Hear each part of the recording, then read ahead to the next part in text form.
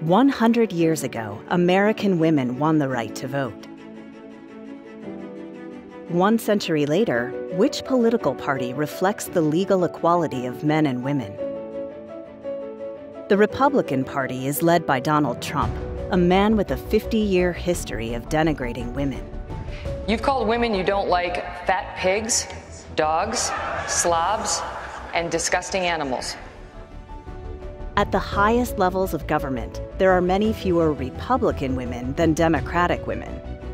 For example, there are now just 24 Republican congresswomen compared to 106 Democratic congresswomen.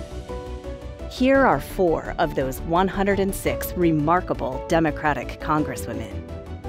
Jahana Hayes was selected 2016 National Teacher of the Year. Since 2018, she has represented Connecticut's 5th District. Dr. Kim Schreier, a pediatrician, knows the challenges that American families face in obtaining affordable health care. Since 2018, she has represented Washington's 8th District.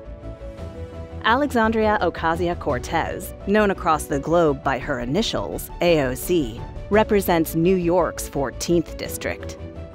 At age 29, she was the youngest woman ever elected to Congress. Tammy Duckworth served in the United States Army in Iraq. In November 2004, Captain Duckworth's helicopter was hit by enemy fire, severely injuring her. In 2012, Ms. Duckworth was elected to the House of Representatives for Illinois' 8th District.